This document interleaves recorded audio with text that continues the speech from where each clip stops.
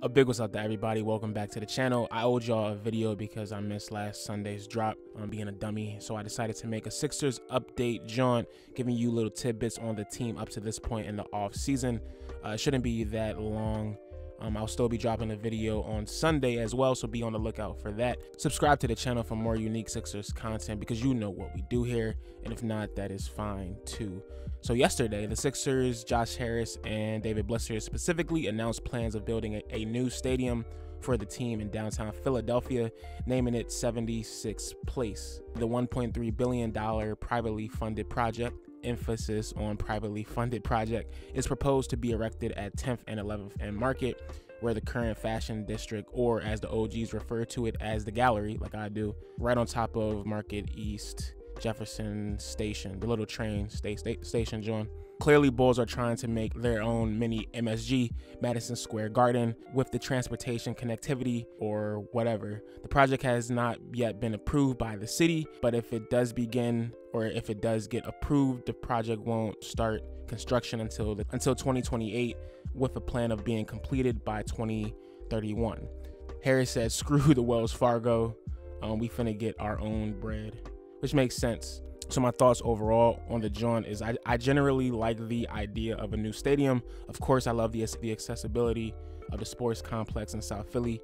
First and foremost, being unique in, in its own right, um, as well as convenient but if we're being honest, by the time 2031 comes around, Joel Embiid will probably no longer be playing for the for the Sixers as he will be re- retired, and more than likely, I'll probably be a father by that time. So who really cares?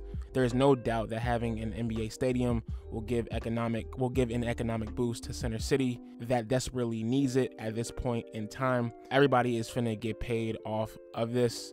The team obviously the city of Philadelphia attracting new storefront businesses along Mar- Market Street and the surrounding area, the police patrolling the area as well, the Philadelphia Parking Authority making all that bread with parking and tickets, private parking lots as well.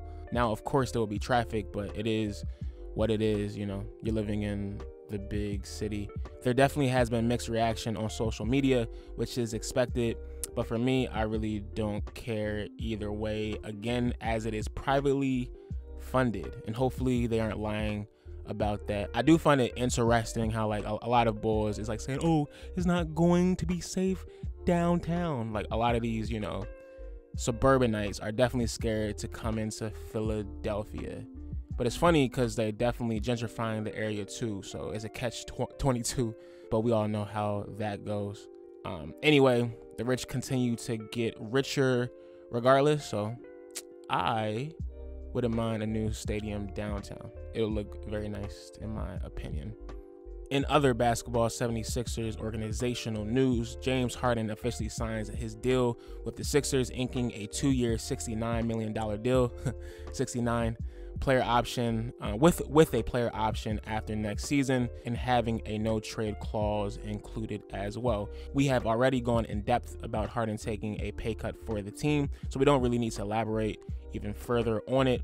Um, but I must state that I love the propaganda campaign that he has been putting out there recently with all the interviews he's been having, saying that he is fully committed to winning a championship with the Sixers and doing whatever it takes, whatever he has to do whether that is taking less bread, obviously, or changing his diet to obtain that ultimate goal. We got a motivated James Harden and a championship mode Sixers that are not stuck in a we are two years away from being one year away from fully competing. Welcome to the end game, Sixers fans. This is the beginning of the climax of the saga Sixers basketball post Iguodala Jrue Holiday teams. The odds are Harden opts out and signs a huge new deal next offseason, pending a complete disaster where he has to, you know, opt into it and like keep said bread. Um, so get ready for the inevitable. It's crazy how like after nine years, this is what we have, but it is what it is. The Sixers are finally a championship, you know, squad, or at least gunning for a championship. Is this the best roster since the 2018 2019 Jimmy Butler squad? Probably. It's definitely deeper. I can say say that. By the way, shout out to my boy James Ennis III, who will forever be one of my favorite Sixers and who was on that 2018 19 team.